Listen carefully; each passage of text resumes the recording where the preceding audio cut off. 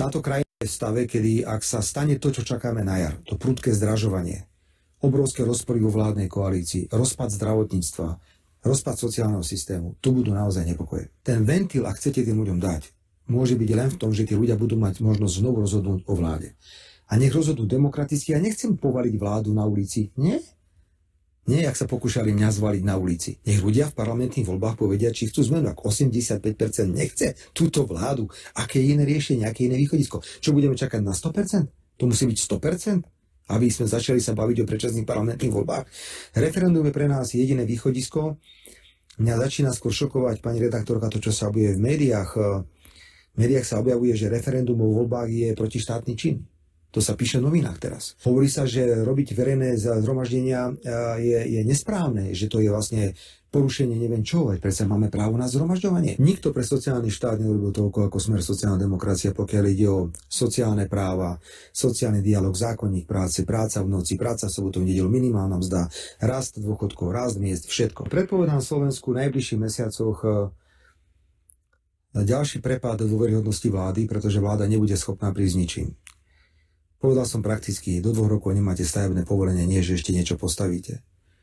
Je evidentné, že nebudú schopní míňať ani peniaze, ktoré majú z európskych fondov a z obnovy.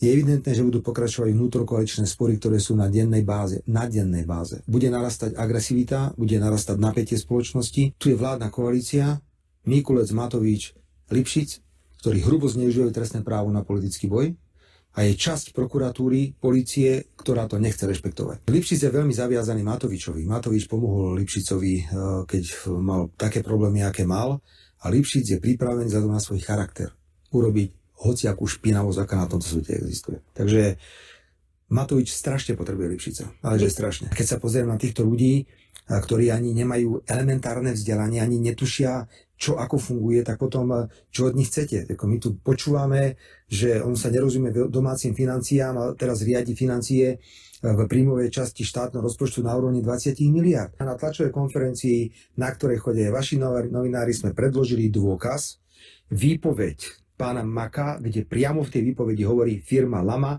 je moja firma.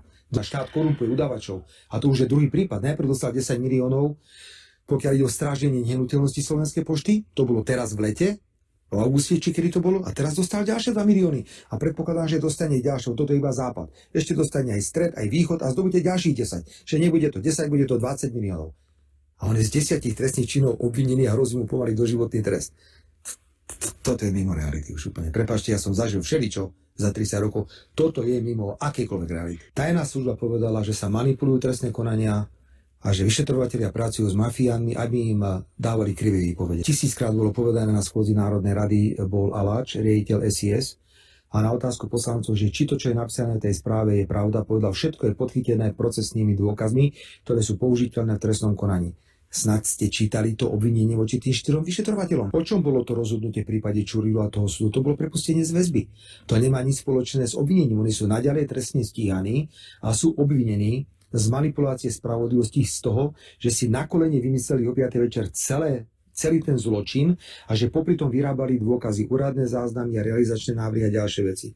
Nič iné nehovorím len to, že ak to takto urobili v prípade Santusovej, lebo išlo o prípad Santusovej a inšpekcie, čo keď takto urobili v prípade Lučanského, ktorý zomrel? Čo keď takto urobili v prípade Tibora Gašpara, Kajetána Kičura? Ja si myslím, že to tak urobili, pretože aj prípad, prípad Dušana Kovačika je do neba volajúci príklad nespravodlivosti a podľa mňa obrovskej politické nadpráce, ktorú urobila sudkynia Záleska. Pokiaľ ide orgány činné trestnom konaní, sme v Banánovej republike.